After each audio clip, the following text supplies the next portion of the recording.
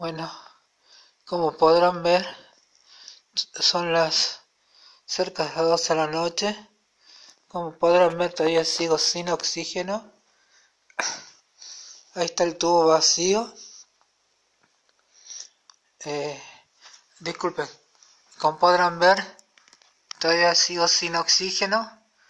Eh, el tubo ese, que está apagado, pero no tengo la... Ahí se nota que está la cánula.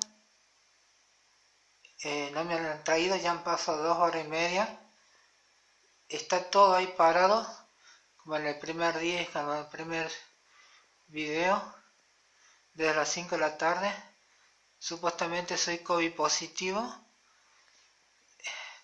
diagnosticado hace 10 días y mi empeoramiento clínico hace 48 horas, 72 horas con 24 horas de internado en el hospital Barrio.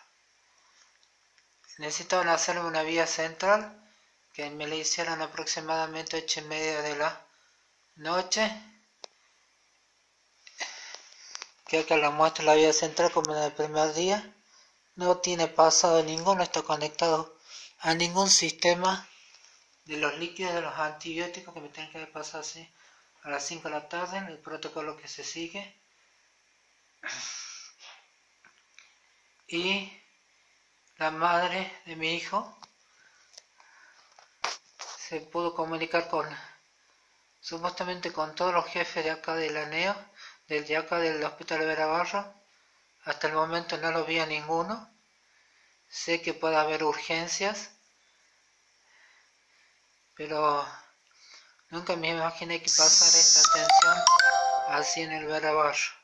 La enfermera argumenta que entran dos veces por turno nada más y porque varias veces en el turno de ayer había presentado sangre en todo el en toda la, la vía porque se me había pasado la medicación todo eso y las enfermeras decían es porque yo me voy a mucho y que ellos recién iban a ver cuando le tocaba en el turno. Cuando yo considero que el paciente COVID, porque es COVID de por sí, y porque está internado, y si requiere oxígeno, y ellos mismos te dicen tengo satura más de 96, usted me ven en este momento, en mi saturación, tengo algo saturado, no, no me están saturando nada se alcanzan a ver, están las manos acrocianóticas, continúo sin oxígeno, continúo sin atención de médicos y sin atención de enfermería. A pesar de que la madre de mi hijo trabaja acá. Eh, me vinieron a buscar para hacerme un ataque. A los cinco minutos me dicen, no, que me lo van a hacer más tarde porque la prioridad, había otros que tenían prioridad. No sé a qué están jugando. El sistema de salud de La Rioja, yo sé que está colapsado, totalmente colapsado. Pero me parece que no es la forma para atender a ningún paciente. Yo esto lo hago viral para que sepa que en realidad por ahí la atención no es buena. No me importa que si el gobernador lo ve este video, no lo ve el video, estaría bueno que lo vea. Para que sepa que las cosas no se están haciendo bien. Y en el día de mañana, yo que tengo dos hijos, mi pareja con COVID también, con mi hijo, se sepa de que las cosas no se están haciendo bien.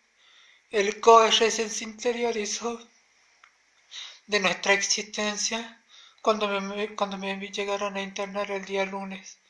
Pasado ya ocho o nueve días. Sin embargo, nunca recibí ninguna atención del COE y de ninguna otra institución sanitaria. Ya no me interesa si el gobernador quiere tomar medidas conmigo no quiere tomar medidas conmigo. Lo único que sé es que las cosas acá no se están haciendo bien. Y lo otro que sé es que no me puedes dejar sin oxígeno. Si estás haciendo bien y si la prioridad son tus pacientes, señor gobernador, o el, jefe de servicio, o el jefe de guardia, o al director médico dejarme sin oxígeno y los antibióticos diferirlos para cuando ellos quieren o las enfermeras quieran poner los antibióticos. No es una atención médica así, yo soy médico, soy médico terapista del Hospital de la Madre del Niño, servicio de Dios y me juego la vida por, por mis pacientes. Pero se nota que acá no. Se nota claramente que acá no a mi vía central que uno pide, vía central que va con antibióticos, del acto. Así que esto no puede ser, señor gobernador. Póngase las pilas, no me interesa si me quiere hacer una nota, si me quiere correr, la verdad que no me interesa. Lo que me interesa es estar junto con mis dos hijos y estar bien, disfrutarlos y estar con ellos.